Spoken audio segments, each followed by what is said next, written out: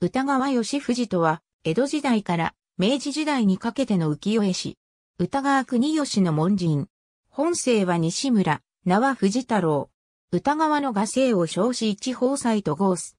万延元年頃からは吉藤と称した。はじめ本郷春木町に住んでいたが、後に浅草大島町、明治16年から明治20年の頃にかけては、浅草北三筋町58に移り住む。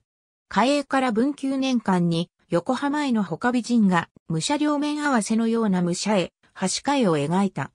また、子供向きの組馬絵、玩具絵、すごろく、東京築地ホテル館図といったものや、開花絵も数多く描いている。吉藤は、玩具絵において、丁寧な仕事をしており、おもちゃ吉藤と呼ばれた。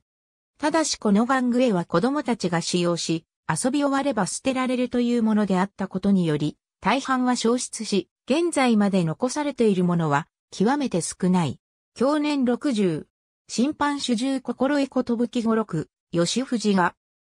就職絞りや佐賀を、ヒストリーチャンネル、極める日本の美と、心日本開国グラフィティ、横浜プリンツイン USA 番組内の説明より、抜粋、この当時、家族連れで来日することはなく、顔が、いかにも、東洋的で、大人が子供に、西洋の習慣にはない、おんぶをしていることから、この錦絵は想像で描いたことが伺える。ウィキメディアコモンズには、歌川義藤に関するカテゴリーがあります。ありがとうございます。